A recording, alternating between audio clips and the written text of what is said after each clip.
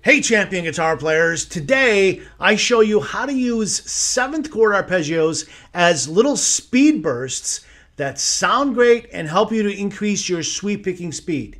Now these little 7th arpeggios are all laid out on the fretboard to make it easy to sweep pick them fast and clean.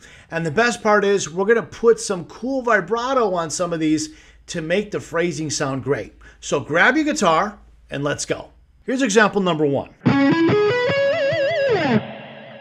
A little faster. All right, so what we have going on here, I'm starting with an upstroke on the C sharp note. So I'm, this is up, fret 16, upstroke, then downstroke on fret 19, then another downstroke on fret 18 of the D string, then downstroke on fret 16 on the third string, and then up on fret 18 of the third string, and then applying a little vibrato at the end, like this.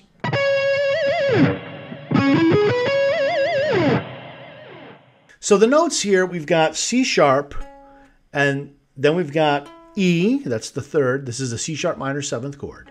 C sharp, E, G sharp, B, and then C sharp. So one, flat three, five, flat seven, one. And that makes a C sharp minor seventh arpeggio. Here's example number two.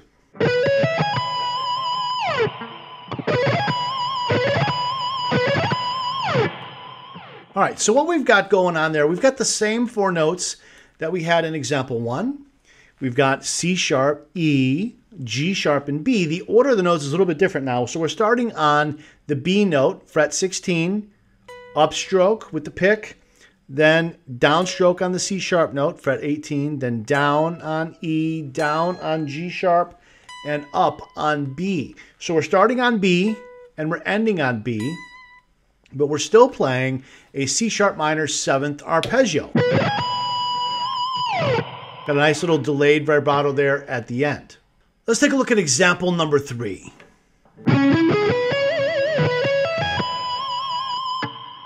Now speed it up a little bit. So there, what you have is example one and example two, we're simply combining them. So we're starting here on C sharp, upstroke, down, down, down. That's our sweep picking. Then up, little vibrato here.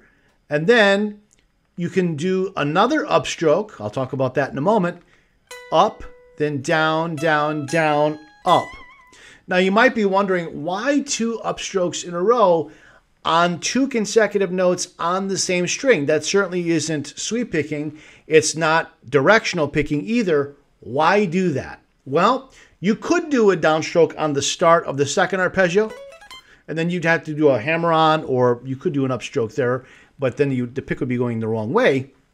But if we do this, up, down, down, down, up, when we're doing the vibrato, we have got a lot of time to sort of reset our hand.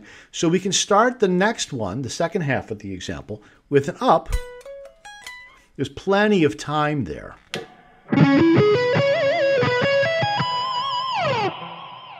So check that out. Grab your guitar and try that. All right, before we move on to the next set of examples, I've got another video on YouTube, a longer one, called Guitar Speed Bursts Build Your Guitar Speed. Check that one out because it will go into some details about speed bursts that we won't have time to go into on this video. So check that out, come back, watch the next set of examples of this video. All right, now let's take a look at example number four. This is the same as example number two, but now we are descending. So we're going to start on the 19th fret with the, you can use the third finger or the fourth finger. Okay, the tablature is to show third finger, but you can use, I like to use fourth finger sometimes too. All right, so we got downstroke, then up, up, up for the sweep, and then down at the end. You got a nice little vibrato there. All right, now for example five, this is the same as example one, but now descending.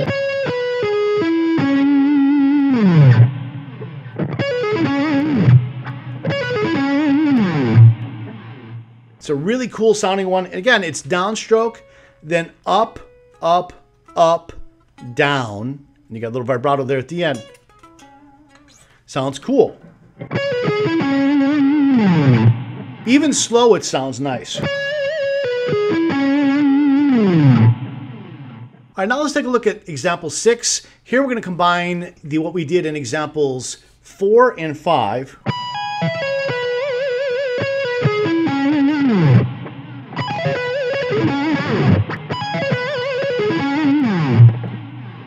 All right, so again, this one is really cool. We're starting with a downstroke, then up, up, up, down. You can pause for a little vibrato here, then down again to set up the sweep picking coming this way. Okay, so again, we've got two downstrokes in a row right in the middle of this example. And as I mentioned previously in example number three, once you've got this note and you're resetting, you can reset your pick to do another downstroke so you got two perfect sweeps there in this example. All right, now let's take a look at example number seven. Here we're going to combine example three and example six into a little bit of a larger example, and I'll play it slower. It sounds like this.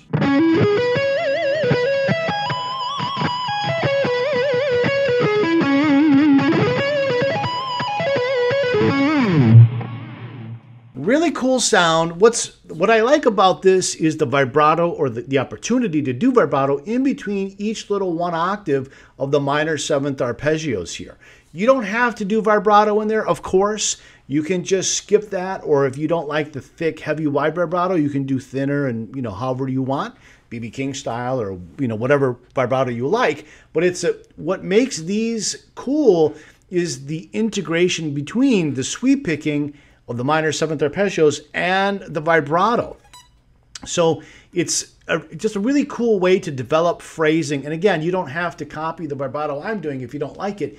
Do your own thing, but integrate the sweep picking with the vibrato. You can do it with instant vibrato where you're doing it right away, or you can do what I was doing earlier, the delayed vibrato where you hold the note out, you pause for a moment, and then apply the vibrato. That also sounds really cool. Now you may have noticed that all of the arpeggios I've shown you so far are laid out in a 2 1 2 pattern 2 1 2. And what that means is that there are two notes on the first string we're going to play, one note on the middle string, and then two notes on the last string or the higher string. So going back to example number one, we've got two notes, then one note on the next string, then two notes on the following string. So it's a 2 1 2 pattern. The other examples also had that. So if we go up here,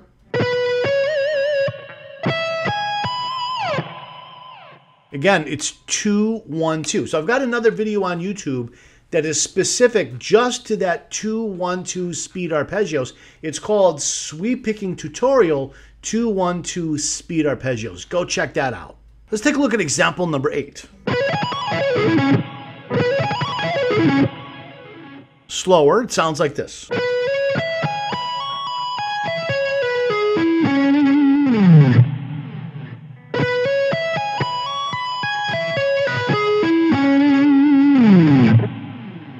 All right, so what we have here, we, are combining a few different things. We're, we're not stopping and pausing to do the vibrato in between each one octave of these minor seventh arpeggios. So up here, C sharp minor seven, we're starting on B, and we're actually going to do a downstroke and then a hammer on. So it's down, hammer on, down, down, up on the 19th fret, down on the 21st fret. We're going to add our fourth finger here to fret 21, and then do a pull off from 21 to 19 and 19 to 16. And then we're going to continue our sweep picking, 17th fret, 18th fret, pull off to 16, then continue the sweep picking, 18th fret, 19th fret, and then the C sharp note on the 16th fret. And you can slide off, do vibrato, whatever. So it sounds pretty cool.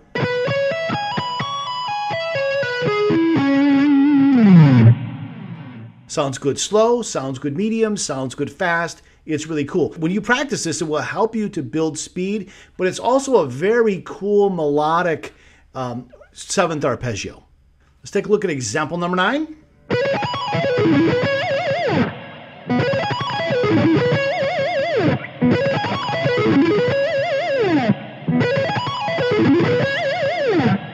All right, so if you slow this down a little bit, it's going to sound like this.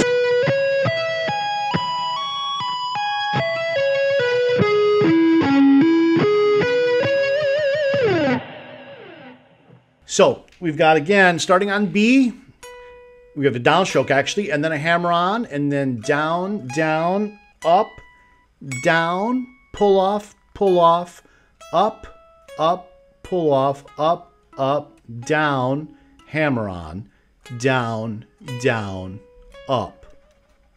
So we got the C sharp minor, seventh arpeggio, one octave is here, going all the way to the root, coming down two octaves, and then going back to the middle of the arpeggio. So we start in the middle, go up, then all the way down, and then back to the center. It's a very cool sound, nice little flurry of notes, sort of a speed burst flurry you can consider it as. All right, now let's talk about how do you practice these fast sweep picking minor seventh arpeggios, these seventh chord arpeggios, these sweeps here. The main thing is to focus on the early examples, the ones I showed you in the beginning. So example one, example two, and then uh, you could skip three for now and go to four and five. Just the little one octave arpeggios, the little speed bursts in one octave in one direction. Practice those, work on getting them pretty clean, and then integrate that with vibrato in whatever style of vibrato that you like. Once you are feeling comfortable with that, then focus on examples three and six. So we still got the small one octave minor seventh chord sweeping our, uh, arpeggios, but we've got the little vibrato breaking them up. So you've got a little time to sort of reset your hands, rethink while you're doing the vibrato, and then going on to the next one. And then you can work on the other examples where you're really integrating them all together and trying to make the phrases sound really cool while you're sweeping through these minor seventh chord vibrato, uh, minor seventh chord arpeggios. Now, if you've got questions or if you've got requests for me to create new videos on other topics, uh, let me know in the comments below. So I read every single comment, no matter how silly or funny it is. And this video was actually requested by someone a while ago, and I finally got around to doing this one uh, for that person. So if you have a topic you'd like to see videos on, let me know, and who knows, I may make one for you. If you want to learn how to sweep pick fast and clean and get all the little technical details, all the little minute motions, I'll show you how step by step. It's all free in my free e-guide titled Sweep Picking Mastery Secrets Unlocked. What the pros do to sweep pick fast and clean fast. It's free. So click on the link below, download your copy, and learn to sweep pick quickly.